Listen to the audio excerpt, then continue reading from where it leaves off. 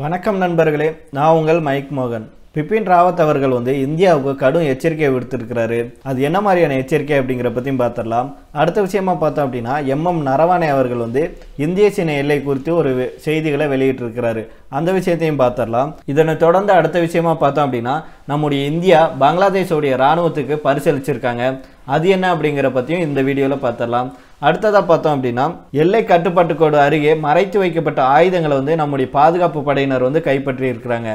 அது என்னென்ன மாதிரியான ஆயுதங்கள் அப்படிங்கிற பற்றியும் நம்ம இந்த வீடியோவில் பார்த்துடலாம் அதுக்கு முன்னாடி நம்ம வீடியோ பிடிச்சிருந்துச்சுன்னா மறக்காமல் லைக் பண்ணுங்கள் கீழே இருக்கிற சப்ஸ்கிரைப் பட்டனை தட்டிக்கோங்க. பக்கத்திலே இருக்கிற பெல் ஐக்கானையும் தட்டிக்கோங்க. அப்போ தான் நம்ம வீடியோ போட்ட உடனே உங்களுக்கு நோட்டிஃபிகேஷன் வந்து சேரும். ஓகே இப்போ விஷயத்துக்கு போயிடலாம் இந்தியா வலிமையான இராணுவத்தை கொண்டிருக்காவிட்டால் அது எதிரிகளுக்கு சாதகமான சூழ்நிலையை ஏற்படுத்தி தரும் அப்படின்னு முப்படை தளபதியான பிபின் ராவத் அவர்கள் வந்து எச்சரித்திருக்காங்க நாட்டின் பாதுகாப்பு தொடர்பான இணையவழி மாநாட்டில் பேசிய அவர் என்ன சொன்னார் அப்படின்னா தற்போது இந்தியா சிக்கல் நிறைந்த நிலையில்லாத சூழலை எதிர்கொண்டுள்ளதாகவும் உலகின் அனைத்து பிராந்தியங்களும் சிறியது முதல் பெரிய அளவிலான பல்வேறு பிரச்சனைகள் நிலவி வருவதாகவும் சொன்னார். மேலும் இப்படி பிரச்சனைகள் நிலவும் பிராந்தியங்களில் அமைதியை நிலைநாட்டுவதற்கான திறமையை பாதுகாப்பு படையினர் வளர்த்து கொள்ள வேண்டும் அப்படின்னு பிபின் ராவத் அவர்கள் வந்து சொன்னார். இவரை தொடர்ந்து எம்எம் நரவானே என்ன சொன்னார் அப்படின்னா இந்தியா மற்றும் சீன ராணுவங்களுக்கு இடையிலான பேச்சுவார்த்தைகளில் சாதகமான முடிவு கிடைக்கும் அப்படிங்கிற நம்பிக்கையை அவர் சொல்லியிருந்தார். மேலும் கிழக்கு லடாக்கில் பதற்றத்தை குறைத்து படைகளை விலக்குவது குறித்து இரு நாடுகளும் ஒரு உடன்பாட்டை எட்டும் அப்படின்னு அவர் சொல்லியிருந்தார். கிழக்கு லடாக்கில் பதற்றத்தை குறைக்கும் வழிமுறைகளை முடிவு செய்ய இந்தியா மற்றும் சீனாவின் மூத்த ராணுவ தளபதிகள் பேச்சுவார்த்தை நடத்தி வருவதாக இராணுவ தலைவர் ஒரு கருத்தரங்கில் உரையாற்றினார். பரஸ்பரம் ஏற்றுக்கொள்ளக்கூடிய ஒரு உடன்பாட்டை எட்டுவோம் அப்படின்னு நாங்கள் நம்புகிறோம் அப்படின்னும்.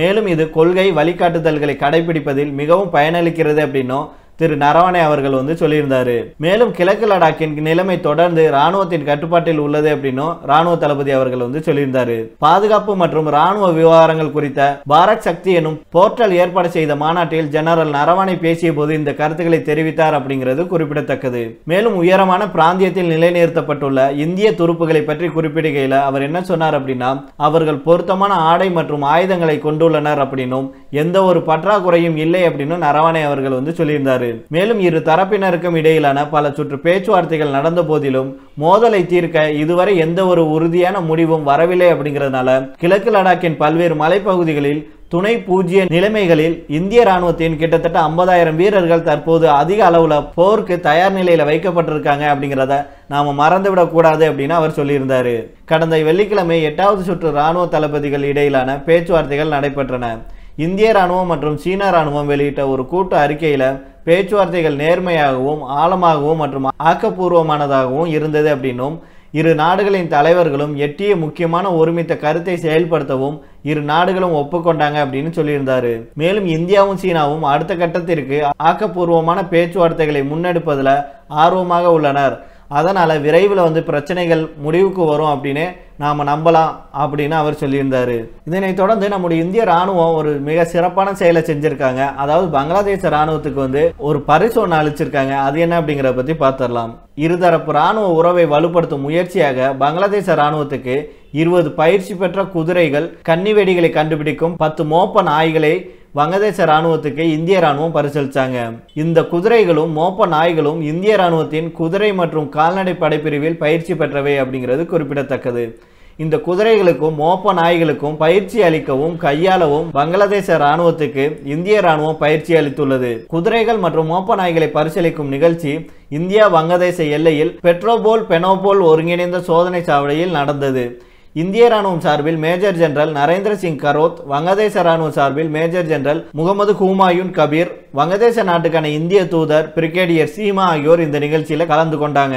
இது குறித்து இந்திய ராணுவத்தின் பிரம்மஸ்திரா படப்பிரிவு தலைவர் மேஜர் ஜெனரல் நரேந்திர சிங் என்ன சொன்னார் அப்படின்னா இந்திய ராணுவ மோப்ப நாய்களின் செயல்பாடுகள் சிறப்பானவை அப்படின்னும் பாதுகாப்பு விஷயத்துல அண்டை நாடுகளுக்கு உதவ நாம் எப்போதும் தயாராக இருக்கிறோம் அப்படின்னு சொன்னாரு. மேலும் பங்களாதேஷுக்கு தற்போது பரிசீலிக்கப்பட்டுள்ள மோப்ப நாய்கள் கன்னி வெடிகளையும் தடை செய்யப்பட்ட பொருட்களையும் துல்லியமாக கண்டுபிடிக்கக்கூடியவை அப்படின்னு அவர் சொல்லியிருந்தாரு.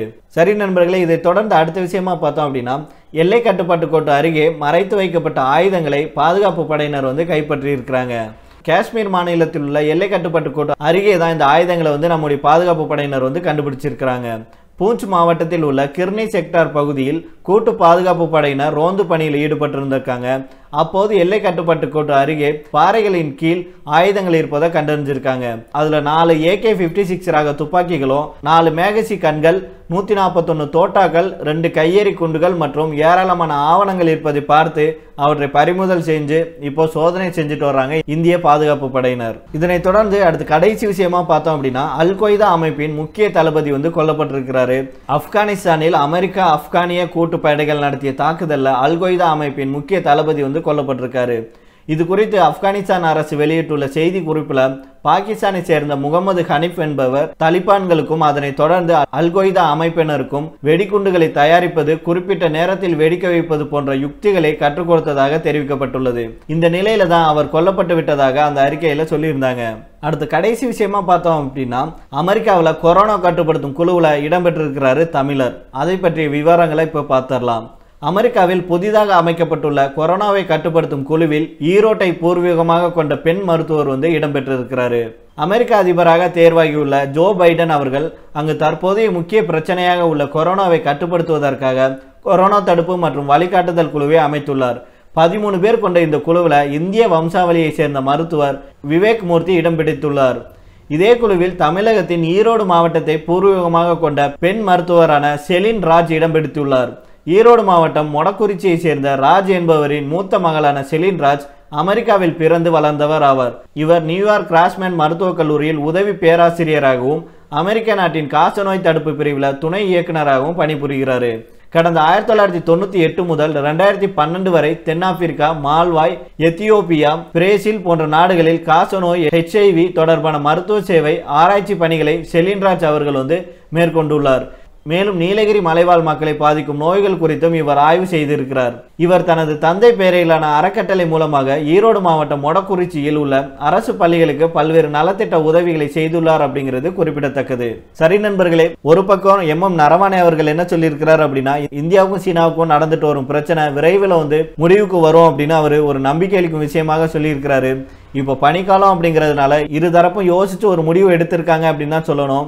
இது மட்டும் இல்லாமல் பனிக்காலத்துக்கு தேவையான அனைத்து ஆடைகள் எல்லாமே நம்மகிட்ட இருக்குது எல்லா வசதிகளும் இருக்குது இருந்தாலும் சீன ராணுவம் ஒத்துழைச்சா மட்டும்தான் இந்த பேச்சுவார்த்தையில் ஒரு முடிவை எடுக்க முடியும் அப்படின்னு இப்போ சொல்லியிருக்கிறாங்க. இதெல்லாம் ஒரு பக்கம் இருந்தாலும் நம்முடைய முப்படை தளபதி பிபின் ராவத் அவர்கள் என்ன சொல்லியிருக்கிறார் அப்படின்னா நம்முடைய ராணுவம் வந்து எதற்கும் தயார் நிலையிலையும் இருக்க வேண்டும். நம்முடைய பலம் வந்து ஒரு வலிமையான பலமாக இருக்கணும். அதனால் நாம் கொஞ்சம் அசந்தாலும் நம்மளுடைய எதிரிகள் வந்து நம்மளை தூக்கி சாப்பிட்டுட்டு போயிடுவாங்க அதனால் நாம் எப்பவும் கண்ணும் கருத்துமாக இருக்கணும் அப்படிங்கிறது மிகவும் அவசியம் அப்படின்னு சொல்லியிருக்காங்க. பொறுத்திருந்து பார்ப்போம். சீனா பின்வாங்குதா அப்படிங்கிறத பற்றியும் இந்தியாவுக்கும் சீனாவுக்கும் ஏற்படும் உடன்படிக்கையை சீனா பின்பற்றுதா அப்படிங்கிறதையும் நம்ம பொறுத்திருந்து பார்க்கலாம்.